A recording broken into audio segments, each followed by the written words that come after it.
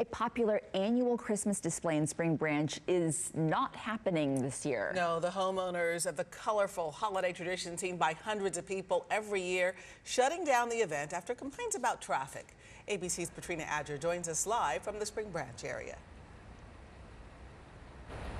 Yes, it's a popular tradition for many families, driving through the neighborhoods, looking at all the all the lights and the colorful displays. And the Johnson family actually had one of the biggest in nearly 30 years. But take a look this year, a different theme. Instead of their usual candy theme, the Grinch theme. All the presents over here on the ground, the way the Grinch would just love it. And replacing this candy theme, like I said, with this Grinch sign. This sign saying how the Grinches stole their Christmas display.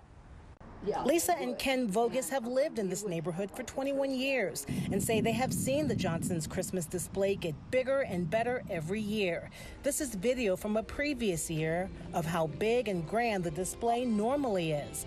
The Voguses tell me more than 800 cars came through last year. And even though the Johnsons had law enforcement come in to control the traffic flow, there were still complaints about traffic. There was a significant amount of traffic ever since the people would post pictures and, and videos of this whole uh, display, and then they'd post it on Facebook or Instagram or TikTok or YouTube, and it was all over. Uh, so people, it just kept growing. Yeah, I was, it was sad. Just really sad definitely for the, for the neighborhood and just the community itself because they enjoyed it so much, particularly the kids. The oh. kids really enjoyed it. We reached out to the Spring Shadow Civic Association, the HOA for the neighborhood, who didn't have a direct comment to us, but posted on their Facebook page saying in part that members of the Spring Shadow Civic Association, law enforcement, community members, and homeowners came up with a plan to control the movement of traffic.